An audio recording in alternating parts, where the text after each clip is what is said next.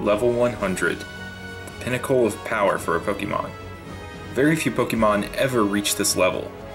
This is a series of videos in which I push Pokemon's levels to the absolute limit by raising them to 100 in unconventional ways and environments. Because, more or less, I'm crazy. This is the Level 100 Gauntlet. I hope you enjoy.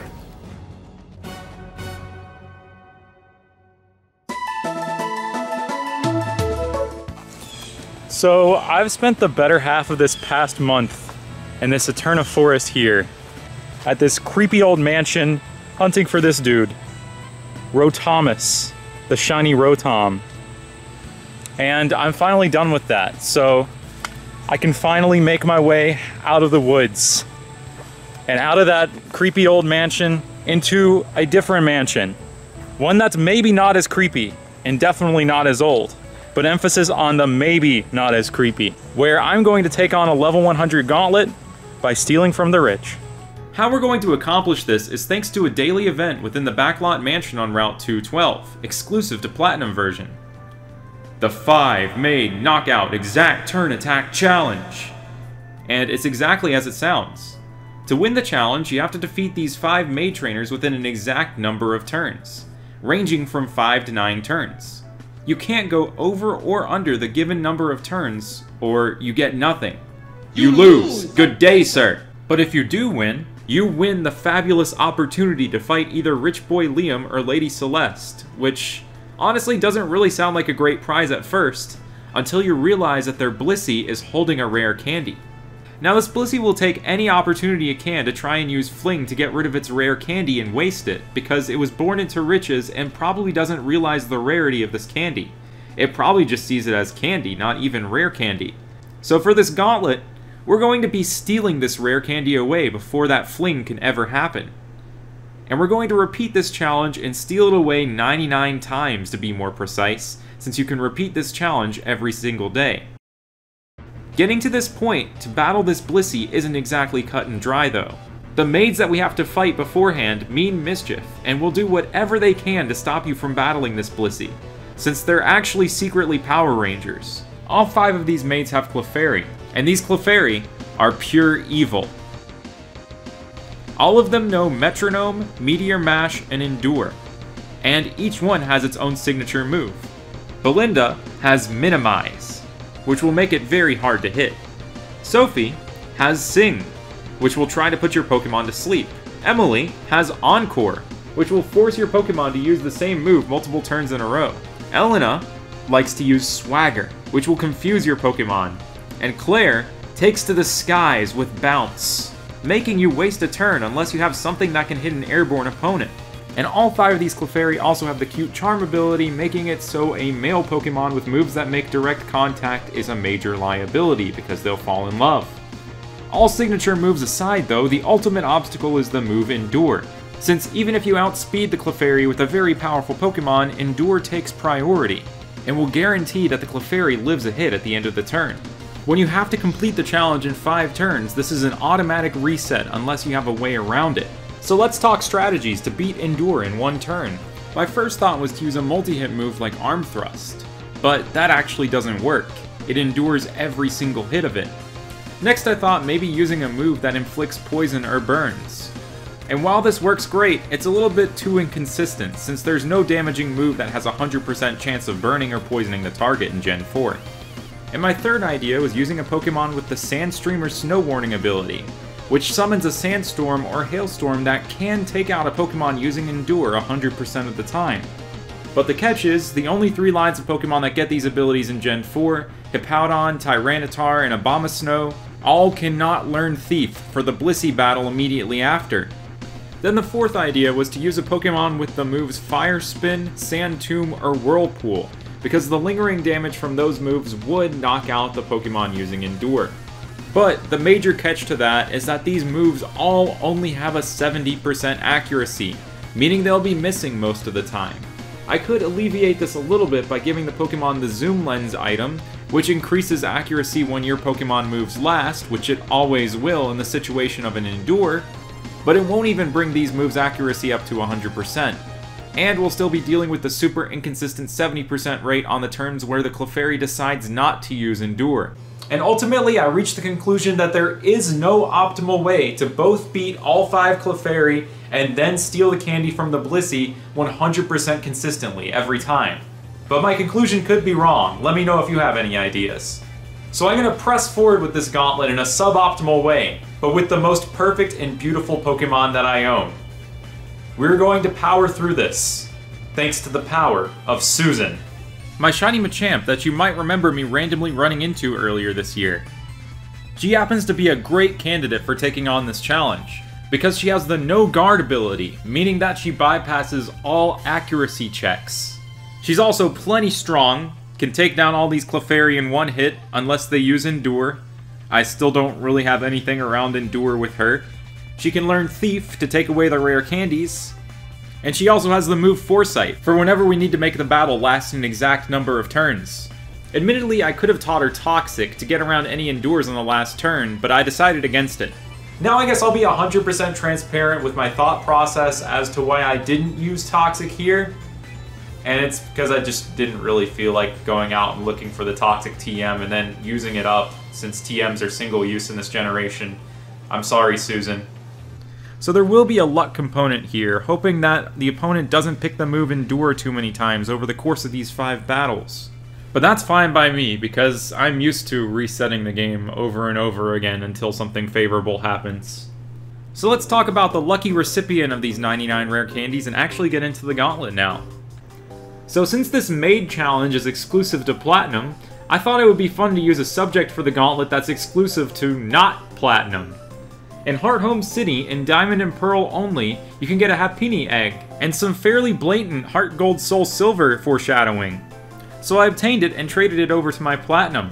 So instead of taking candy from a baby, we'll be taking candy for a baby. And I'm going to keep the egg in my party to see if I can complete this whole challenge before it even hatches. So with all our preparations complete, I made my way over to the Backlot Mansion to really begin on August 28th, 2021 day one. Here we are. I recommend saving beforehand, um, because you might not finish the battle in the number of turns required. So uh, let's see if we can do this. Eight turns is nice. That gives us plenty of time to do this. Um, let's get through this. So, in case you might still be a little bit confused about how this challenge works from my explanation earlier, here's my whole first attempt at it sped up.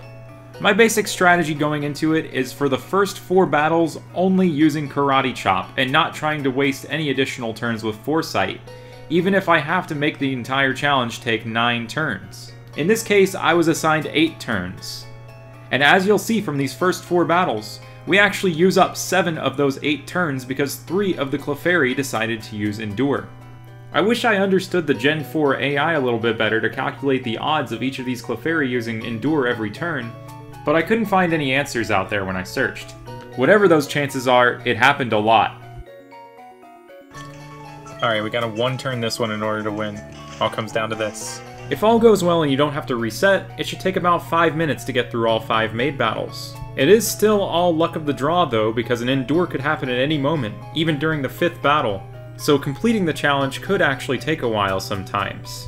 But once we win, all we have to do is steal the rare candy. Look at those seal capsules he's got.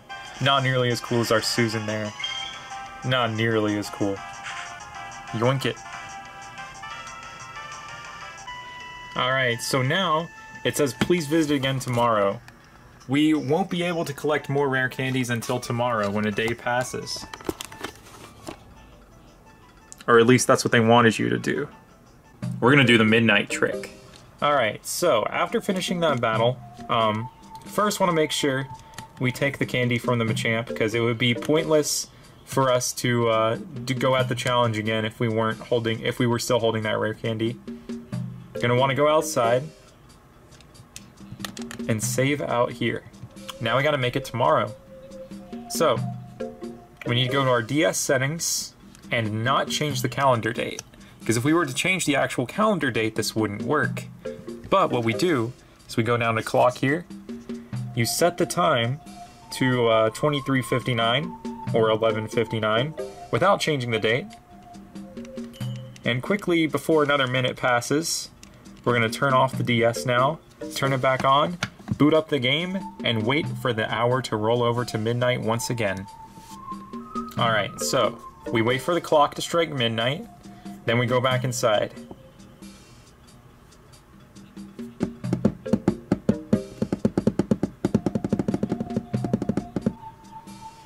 Alright, it's midnight. So, we can go back into the mansion. Let's see if it's tomorrow.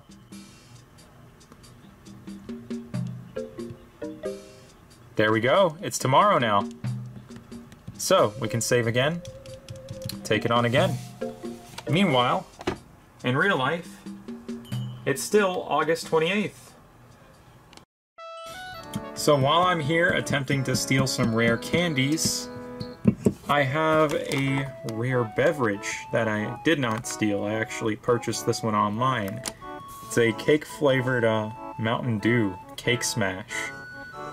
So I ordered this a little while ago. I had to get it shipped to my parents' place because it wouldn't go to my regular zip code for some reason. Um, and when I came back, I noticed I had a new roommate. About to crack this open and see what this is like. I can't imagine what a birthday cake flavored Mountain Dew would be like. It looks kind of like clear in color, it smells like dew. That's not bad at all.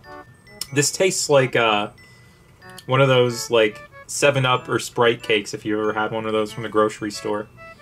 I enjoy this while these Clefairies just keep using Endure.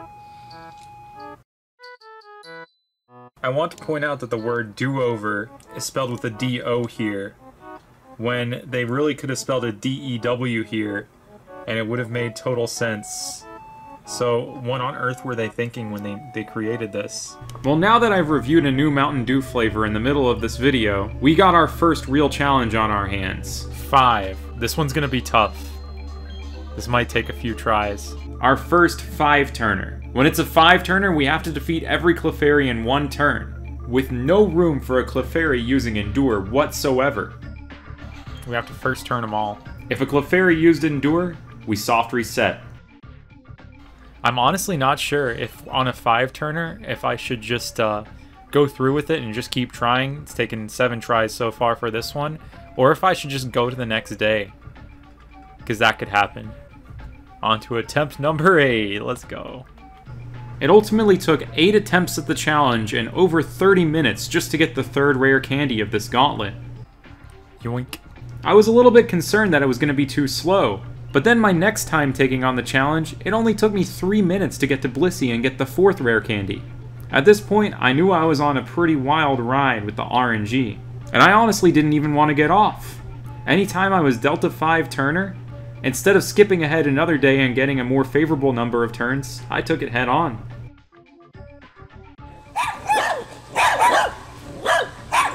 Yo, chill out, dogs. I'm just trying to play Pokemon.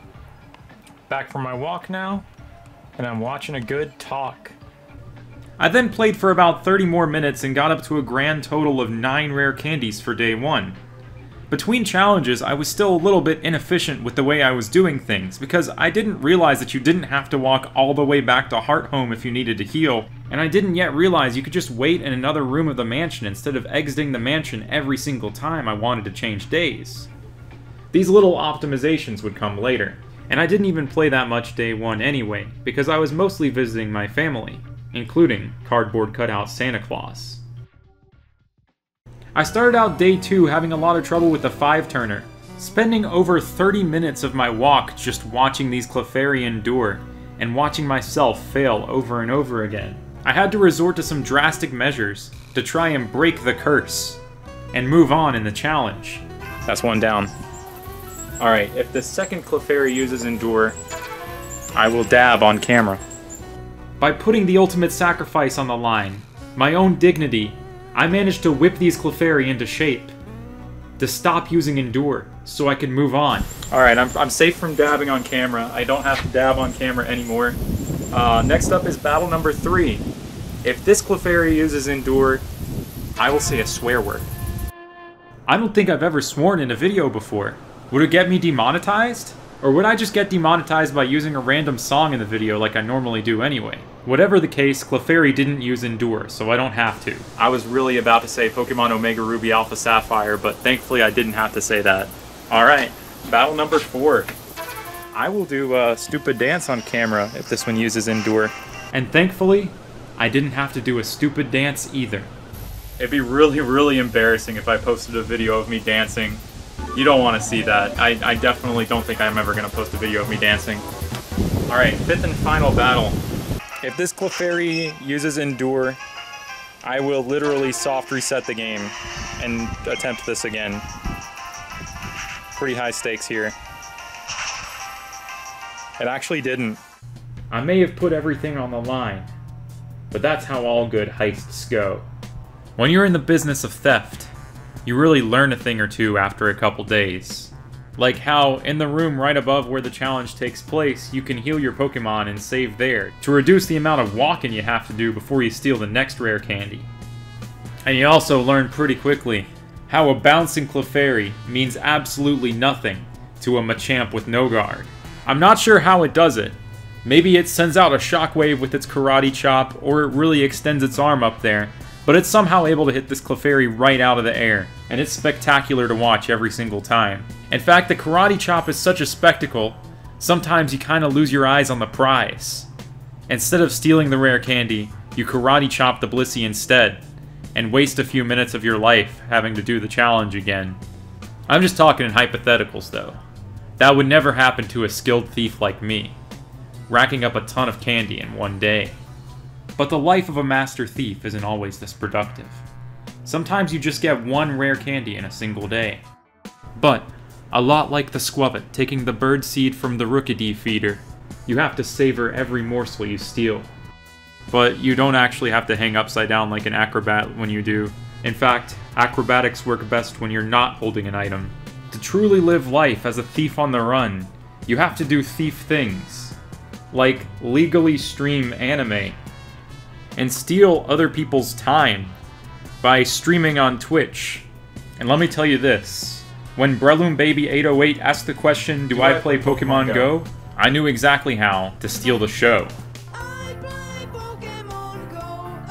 That Pokemon Go question had kicked off the experience of a lifetime. Listening to Misha's beautiful Pokemon Go song on loop until I won a 5 turner.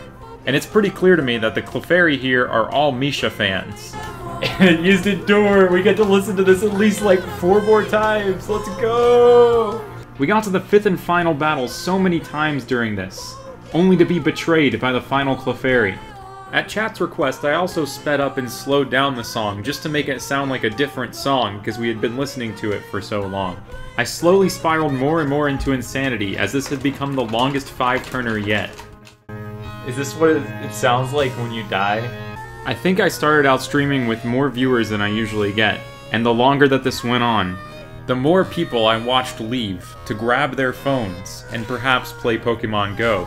But after a grueling 16 attempts, the most that I had spent so far on a 5 turner, Misha's not coming back. I finally won. We're safe. Bringing me to 41 total candies at the end of the day.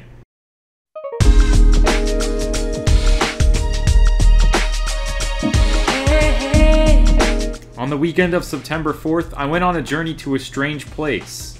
That was the intersection of video games and agriculture.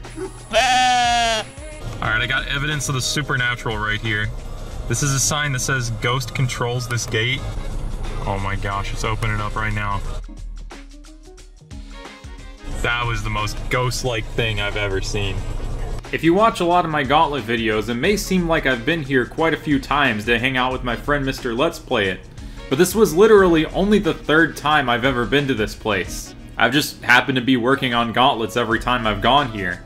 And every time I managed to find new ways and places to train my Pokemon. Like getting my first ever rare candy in the vicinity of a goat being milked. Also, here's a chicken that kinda looks like an Absol.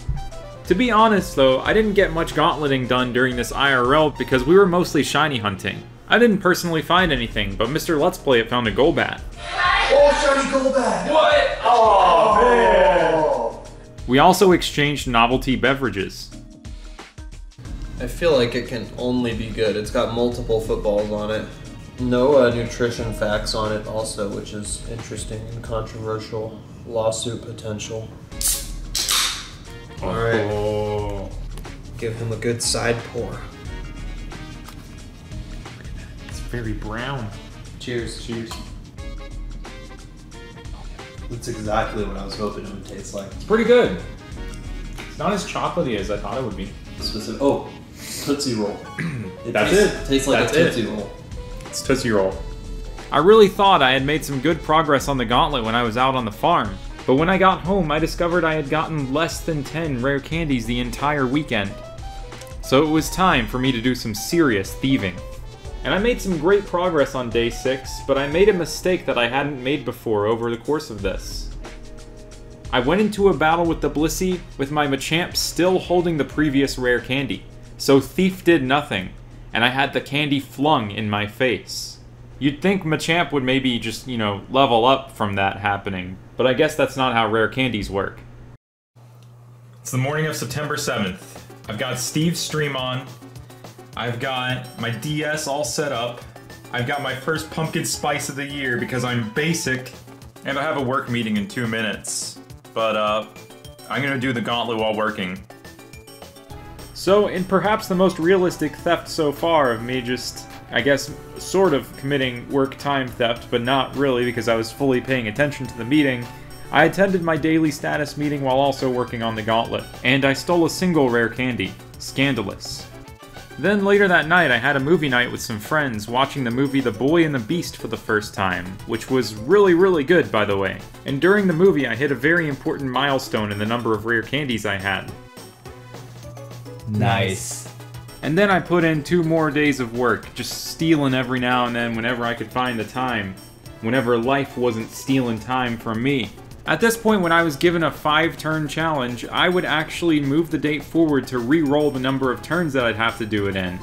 And it was far more efficient than what I was dealing with beforehand. That's 89 candies down. 10 to go. 10 to go. Let's take on the rest on stream tonight. The egg's still nowhere close to hatching. Alright, we're gonna steal this candy. It's gonna be our 91st. We're so close to being able to one-hit this thing, but we're just not. Unfortunately, I hit the threshold now where they use full restore, so we have to go through the slowest HP bar of all time twice. Like, okay, 4th gen HP bars are really slow already, but we have to watch it fill up all the way and go all the way down within a single turn. I swear this this whole process here takes like at least 20 seconds just to wait for this bar to go down. yeah, it's Sisyphus trying to push the rock up the hill, but it's it's Blissey's HP bar. On the second to last rare candy of the gauntlet, I decided to time this just to see how long it would take. All right, the second that I hit this move button, I'm gonna start the counter or the timer.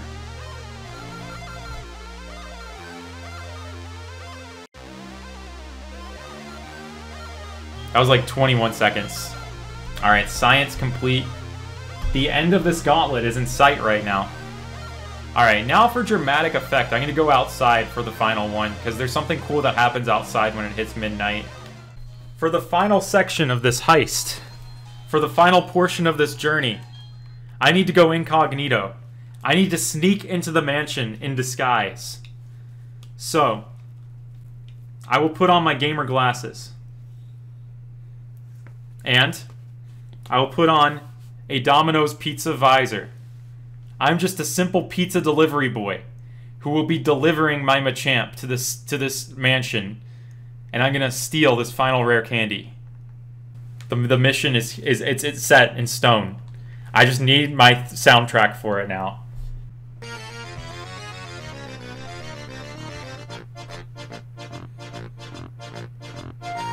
It's heist in time. Alright, y'all gotta watch very carefully. I've been observing this mansion for a while, trying to figure out how to sneak in, and I noticed something pretty interesting here. These windows, they turn off. Or the lights within the windows, not the windows themselves. Windows can't turn off. They turn off at midnight. So when the clock when the clock strikes midnight and we're under the shroud of darkness in the mansion, I'm going to sneak right in. I'll, I'll just hide in, behind the statue, waiting Actually, no, I can't wait behind the statue. I'm too hyper. I'm just gonna run around outside and see if my egg hatches. Alright. Coast is clear. No one's gonna see me. It looks like all the lights are still on in here, though. I don't know how that works. Maybe they just have fake windows. But, uh, it's time. Just a humble pizza guy getting ready to deliver a butt whooping to these Clefairies and some theft. That, that's what we're delivering right now. How many turns? Six. Not too difficult, but still could present a challenge. Could still present a few turns. Let's see if this works. So in my pizza disguise, I took on the final challenge. I don't think a single person in the mansion questioned me, or my presence. You're kinda just allowed to go into the mansion anyway, so you don't really need a disguise. But here's my final attempt. Because I don't think I've shown the entirety of this challenge too many times in the video so far.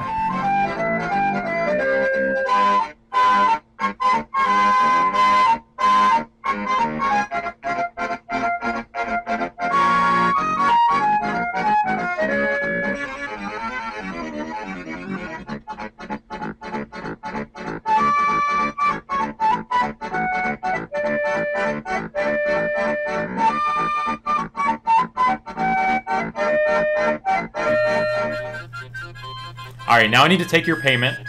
So, uh, please hand over your debit card or cash. Another form of payment that we do accept is rare candy. Took a minute, but thank you. Thank you for the rare candy payment. Um, have a wonderful day. Okay, enough of that song. We did it.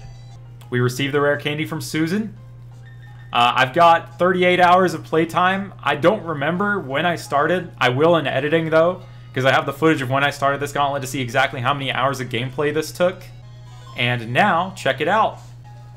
99 rare candies. Got just enough. Alright, time. Get ready for the best Pokemon music of all time. Listen to this. We listen to this a lot. This song on stream. So, our final destination for this gauntlet takes us to the church in Hearthome City, where I ask for forgiveness for stealing so many times. I ran around in circles here until the Happiny hatched from the egg. But wait, it turns out it wasn't actually a church. It was just a foreign building. Because that's what the game calls this place, for whatever reason. Then, with my new Happiny, which I named Robin Hood because Happiny are very, very skilled at archery, I fed it 99 rare candies to make it reach level 100 while listening to this incredible music. I don't blame you if your foot's tapping right now while you're listening to it too. Level 100, the pinnacle of power for a Happiny named Robin Hood that I stole all these rare candies for. And I kind of feel a little bit bad about it, but I don't because it was from really rich people who weren't going to do anything with it. This is me leaving the foreign building. And there we have it. That was a fun little gauntlet. Also, I could have found a shiny when I was showing this thing off in battle, but all the shiny luck got used up on someone rolling a random number in the chat and getting banned instead. But now we have this definitely super strong Happiny that's really, really powerful at level 100 because it's got incredible attack stats such a powerful level 100 Pokemon. Thanks so much for watching, and I'll see you next time.